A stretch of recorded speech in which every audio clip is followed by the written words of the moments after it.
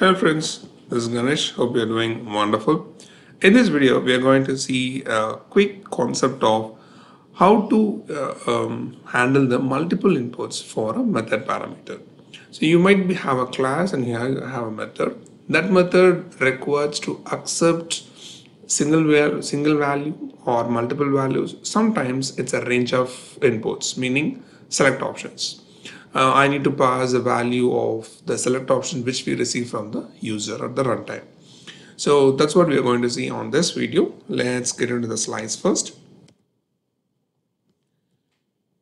So these is my method parameter and the options for method parameters are it could be a variable it needs only one value or it could be an internal table multiple values it could be a ranges of data example select options or uh, you can have ranges as well. Sometimes we need to make up some data before going to the select query. So that for that we go with the ranges of data. So ranges or select options, it has additional parameter of sign, um, the low, high, sign option. So these four parameters are additions for ranges and select options. Okay. So now we are going to get our method parameters ready to accept these values. So the declaration would be if it is a, if, if it is a variable, just a variable declaration or you can hard code the values. If it is an internal table, then in the method parameter, like normally in, in the class you have a method and you, you need to give the reference, right? Uh, if it is a variable type I, type C or any data element name. But if it is an internal table, then you have to make a table type one of the way I'm saying, if you want to make a declare an internal table um, parameter, input parameter, then you have to create a table type and give that as a reference in your uh, declaration part. And if it is ranges of data or select options data, then you have to create a table type, then convert the table type into a ranges. Okay, there is an option in SE11 where you can convert the table type as ranges. Probably you might have seen it. So here what actually we are doing is we are creating a table type Along with that, we are going to add that four field combinations like sign, um, options, low and high. Okay, this four we are going to include it in the table type declaration. So once these are done, you are good to go. Okay, and um, yeah. This is just for your reference. So suppose if it's an internal table, what I'm creating is I'm just creating a table type and the line type is any of your data so here is a plans. Uh, so I'm going to give works underscore D as a data element that what happens is this internal table, this parameter is, this is a reference type, right? So then what happens, this parameter is able to accept more than one values from the user or from the program where this particular method is getting called. And if it is a ranges in the same ranges table type, once you first initially you have to create a table type, then the conversion should happen from a table type to ranges table type. Okay. So here what happens if you uh, change the option, then automatically the screen is getting changed and you have to give a data element, which data element you are creating a ranges. Along with that, you have to create one structured row type is a custom one structured row type. You can give any name uh, that should be start with zry so i just create a zry and click create. What happens after you click create it automatically created this, this is a name which I had given in the previous screen. In that you, this automatically created you don't want to create anything it's automatically added these four uh, fields sign option low high for your for your plans parameter these four are getting added. So now the parameter is if you use this reference so this reference name is here this is the reference name. If you use this reference in your method parameter then the parameter is able to accept select options or ranges of data. Okay? Simple. So yeah that's it. Let me show you in the system.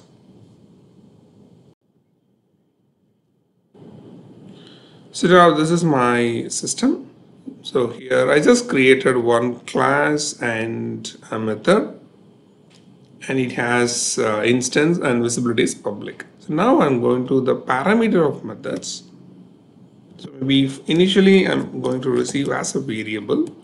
So type is importing.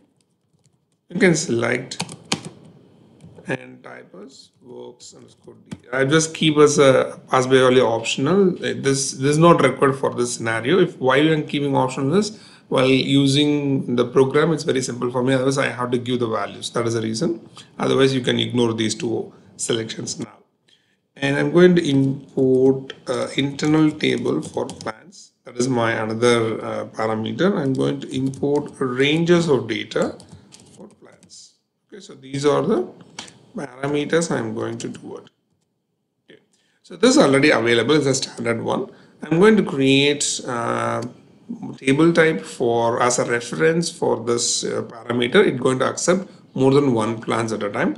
And this is going to accept the plans as a range of data I mean select options value. So for that first let's go to SE11 create a table type. So I'm giving ZGI table type plans so I'm going to create a table type. So if you want more than one um, maybe you can add uh, as a structure. But here I'm going to prefer only one. So I'm going to use the data element.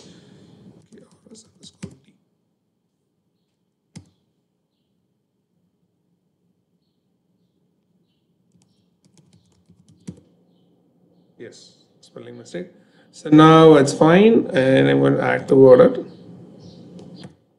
local object. Okay. So now let me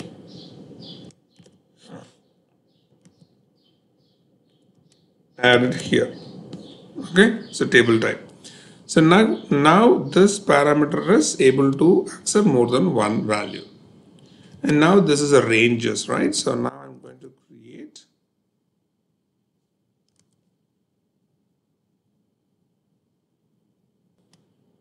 here I'm going to create.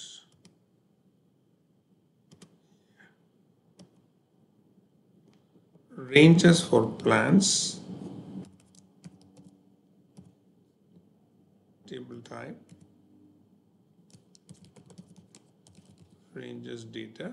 So now I have an option edit diff sorry edit define as ranges table type select this option. Now the same data element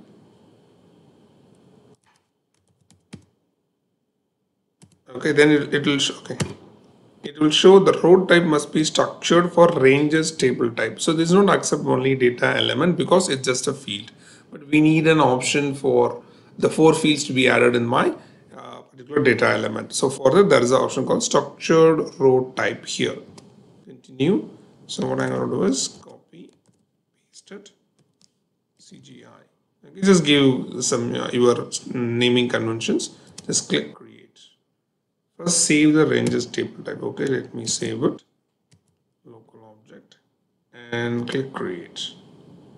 So here ranges for plans. So this is automatically created. You don't want to give anything, just give a description that that could be NF and act toward it.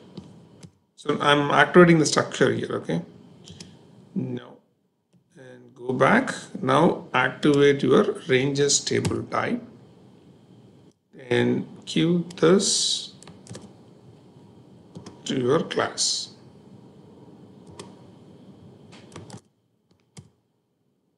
Okay I didn't select these options that's fine. Save it and act toward it. Done. So let me go to a program. Okay meantime let me execute this in SE24 itself. Okay I have a method. Execute. So I have two sorry three different uh, parameters. One accept just a value sorry just single value. The next one accept multiple values. Thousand and add a line. 2000 okay and next one accept multiple values along with a different format. So include option equal. So i'm going to give 1000 to 5000 and if you want to add add a new line. So yes it's added down. Uh, exclude equals uh, except 1500 so like that. Okay? So now your method parameter is able to accept a single value or multiple values or ranges of values. Okay, so let just quickly check from the program perspective. Come on. Okay. ZGI multiple inputs. Please ignore my spelling mistakes. Multiple inputs. Save it. So data object. So new and the name of the class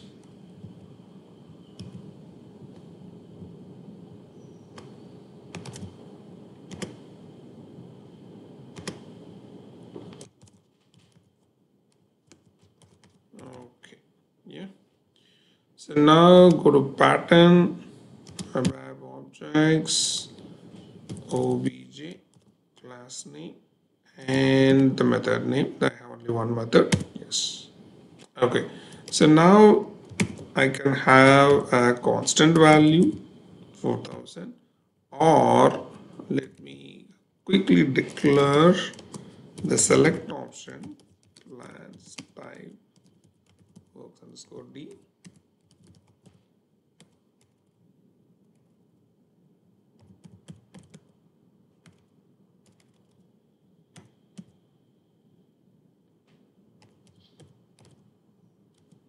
select option s underscore plans for lb plans.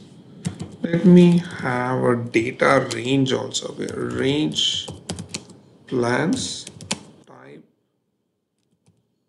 range of works underscore d. Okay. And one more is data it plans type table of so I'm getting the internal I'm getting ready the internal table also. Now you can fill you can know how to fill these informations. I don't want to waste your time over here. So here I'm going to use IT plans and here I'm going to use S plans. Select options okay? Let's see. Okay S plans is not compatible with format parameter. That's actually correct because S plans we declared as a select option, so it has header as well as the body of an internal table, right? So you have to mention the body parameter here. Now it's good. So you can have S plans or you can have OR plans. So both it can be acceptable okay? So this is a way you have to uh, handle more than one value for any method parameter. It could be a, a hard coded if it is a single value or if it is an internal table make sure this is declared with the table type. And if it ranges or select option make sure this gets declared in the method parameter uh, as a reference one is uh, table type with ranges table type. Okay? So then it's pretty easy. You can how you can able to add it so very quickly I can show you the formats the debugging level and we'll close this. Execute, nothing, execute. So double click, double click. So this is my internal table. The first one is the internal table. So which is uh, designed to have more than one value. And this is my ranges. So it has value sign option low high and if you see select option also the same format. So it has sign option low high okay? So I hope this might be useful to understand how to pass more than one value for a method parameter okay? Just play around. If you have any doubts please let me know. And thank you so much for your time. See you in the next video. Bye